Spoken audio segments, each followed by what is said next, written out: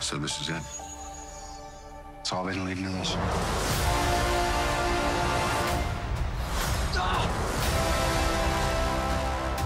Ready? Let's go.